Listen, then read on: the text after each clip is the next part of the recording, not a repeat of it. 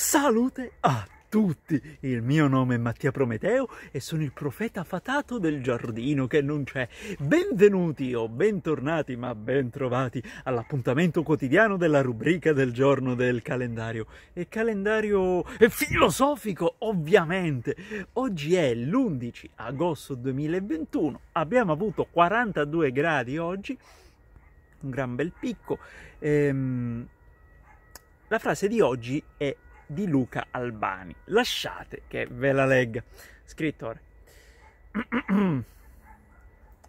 Sei forte tutte le volte in cui ti ritrovi a fare i conti con la solitudine e non ti accontenti di riempirla con chiunque.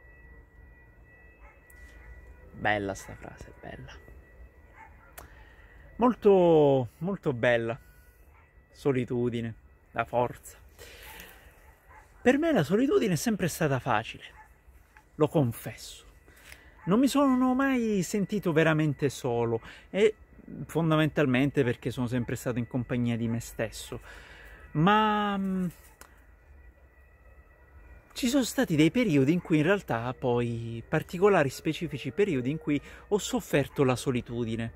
Quando ne sono uscito ne sono uscito ma mm, insomma perché se ne sono uscito tutto legato insieme ne sono uscito perché avevo capito che in realtà io non riuscivo a star bene con me stesso. Avevo tanti problemi con me stesso, non mi piaceva stare con me stesso e chiaramente quando tu non vuoi stare con te stesso pretendi magari anche che gli altri vogliano stare con te stesso.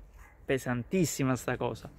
In realtà poi quando impari a stare con te stesso, eh, un po' perché magari cambi e diventi quello che vorresti essere, un po' perché accetti quello che non puoi non, es- eh, non puoi essere, accetti che non puoi essere ciò che vorresti essere, ma perché quello che vorresti essere è un desiderio egoistico, illusorio e non, è, non nasce veramente da te.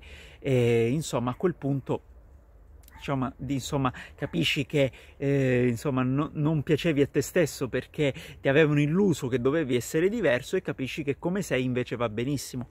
Poi sulle altre cose si cambia nel momento in cui poi si attua il cambiamento, avviene in un tempo miracoloso e insomma delle due l'una, eh, o una persona non riesce a stare con se stessa perché necessita di cambiare o una persona non riesce a stare con se stessa perché necessita di cambiare l'idea che ha di sé e smettere di giudicarsi.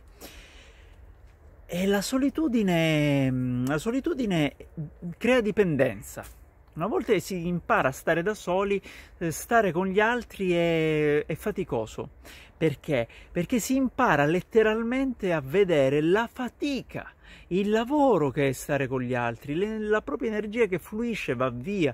Alla fine ci, si inizia, mm, eh, si inizia eh, a, a, a, creare il, mm, il guscio della tartaruga e si inizia a stare con gli altri ma senza dare la propria attenzione agli altri. E gli altri stanno molto bene, stanno molto bene accanto a una persona che sta bene con se stessa, perché gli altri, se stanno con altri, è perché non stanno bene con se stessi. Se tutti quanti stessimo veramente bene con noi stessi al 100%, ognuno di noi starebbe da solo per i cavoli propri e finirebbe a stare con gli altri solo perché ha una vera, specifica, umile necessità. E di fronte a questa necessità ci riuniremmo tutti per completare, per, per completare la missione, per completare il compito che, che ci spinge appunto a, a, a soddisfare questa necessità. E se no staremmo tutti per i cavoli nostri. Però il fatto qual è? È che anche, bisogna anche dire che oggigiorno abbiamo le macchine, attraverso internet siamo capaci di ottenere conoscenza eh, in solitudine ed è un quantitativo di conoscenza spropositato. Eh, non ci fosse internet, volessimo semplicemente migliorare, eh, dovremmo andare, cioè, cosa ci resterebbe? I libri, ci resterebbero i libri. Però i libri che cosa sono? Sono un mezzo per, per ottenere informazioni senza andare a chiedere a una persona nello specifico. Se non avessimo internet, non avessimo i libri, non avessimo i testi, dovremmo necessariamente frequentare i maestri e non ci sarebbe verso e non ci sarebbe una vita al di fuori di questo. E questo per dire che in realtà la solitudine è un dono della tecnologia, è un dono del, dell'avanzamento tecnologico strumentale dei giorni nostri. Quindi dovremmo imparare a eh, accogliere questa solitudine, perché la solitudine, come la può vivere una qualunque persona al giorno nostro, era una prerogativa soltanto degli eremiti. Adesso tutti quanti possiamo isolarci dentro le nostre case e mm, buttarci in un girone infernale di intrattenimento che non finisce più. In realtà gli altri, quando sono poi ridotti a intrattenimento televisivo di uno schermo, no? Insomma, eh, il film che è fatto da persone e insomma, quando noi guardiamo uno schermo, in realtà nello schermo che guardiamo, guardiamo sempre solo altre persone.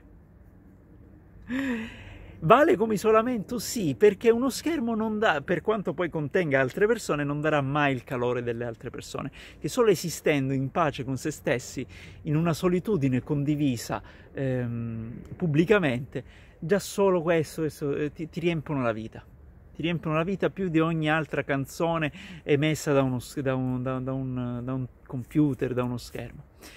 E quindi ecco la solitudine. La solitudine sì, è proprio una qualità dei forti. Non sai stare da solo arrivederci. Il fatto è che poi comunque, attenzione, la solitudine non è semplicemente poi imbastirsi di isolamento, eh, scusate, di intrattenimento. La solitudine non è semplicemente imbastirsi di intrattenimento. La solitudine è stare con se stessi. Poi, ecco, l'intrattenimento diventa una trappola. Una trappola tremenda, perché poi la gente inizia a credere, ah, io sto bene da solo, quando in realtà usa l'intrattenimento e poi magari la birra o il fumo per fuggire da se stessi e quindi si inizia a usare l'intrattenimento come l'alcol o il fumo, cioè l'intrattenimento diventa una fuga dalla realtà, una fuga da se stessi, diventa una droga, una dipendenza. E lì ci si fa un abbonamento da 40 euro a Netflix tanto per dirne una. E quindi, quindi, stare con se stessi oggigiorno, con questo imbastimento tecnologico e strumentale, in realtà stare con se stessi vuol dire meditare, nel senso che, siccome di meditazioni ce ne sono una marea, modi differenti, eccetera, eccetera, ehm, la, la, meditazione di cui parlo io è il classico, ehm, come dire, è il classico sedersi, chiudere gli occhi e fare il silenzio interiore. Dal momento in cui sei in quello stato e non hai un intento preciso e se stai bene con te stesso, non esci più. Non esci più, esci solo se hai una necessità e riconosci la veridicità di quella necessità. Se invece hai, non hai nessuna necessità, stai fermo e arrivederci. Ciao. E... Ehm, è bello è bellissimo, è miracoloso, ti senti nuovo, però c'è tanto da fare, la vita è un gioco bellissimo, in fondo uno si distacca in questo modo, nel modo che ho descritto, quando non ha, non ha più eh, la gioia del fare, dell'esistere, oppure è molto stanco. Eh, io quando sono stanco faccio così, quando non sono stanco prendo un'ascia e spacco tutto. Va bene, miei cari spettatori, miei cari psicocriminali, Luca Albani ci ha ispirato così oggi. Grazie per la vostra attenzione, grazie per la vostra visione.